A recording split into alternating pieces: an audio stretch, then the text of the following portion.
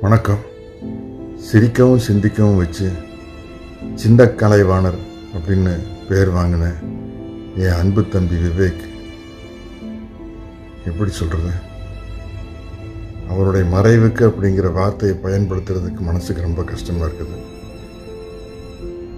அவர் நம்மளோட இல்லாமல் போனதுக்கு என்னுடைய ஆழ்ந்த வருத்தத்தை தெரிவிச்சுக்கிறேன் இது வார்த்தைகளால் அவருடைய குடும்பத்துக்கோ அவருடைய ரசிகர்களுக்கோ கலை உலகத்திற்கோ எனக்கோ ஆறுதல் சொல்லணும் என்பது ஒரு முடியாத காரியம்தான் தம்பி உன்னை இழந்து வாடும் கோடிக்கணக்கான சகோதரர்களில் ரசிகர்களில் நானும் ஒருவன் தம்பி.